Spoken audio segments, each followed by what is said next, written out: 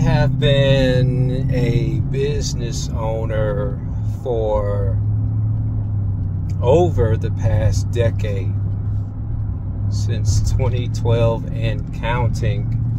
Um, how do you know if being self employed is right for you? How do you know if being a business owner is right for you? Because, mind you, it's not for everybody. It's not for everybody. Um, I knew it was right for me based on the numbers.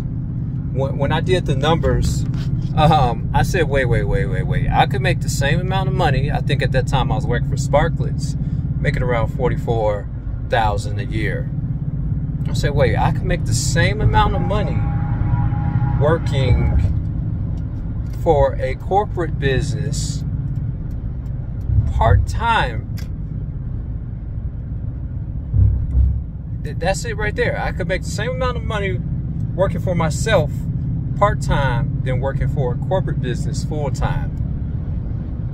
See, at that time, that was the only thing that I thought about. And I was like, I'm in. I'm in. I knew nothing. I, I didn't know anything about how to start a business. I I thought it was just uh, it's kind of funny because my first business was called Pool and Poop. That was my first business, the very first name of the business, Pool and Poop. I was gonna clean swimming pools and pick up dog poop, and they laughed. Oh, how the mockers scoffed at the poop portion of it. Years later, the poop portion became a very profitable business. And keep this in mind, it took very little overhead. So that's how I knew I wanted to be self-employed. Um, mind you, at that time, I went from I went from working from corporate to working for uh, I like to call him my brother, but we're, we're really close friends.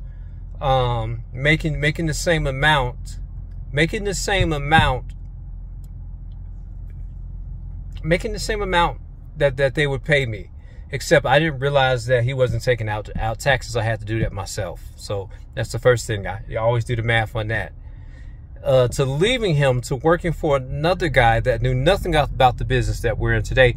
He's still in business. I'm still in business. That's going to be another story of how I got into business. I got into business, and he was a, he was a total a hole, and I left him, and I died head first into becoming self employed.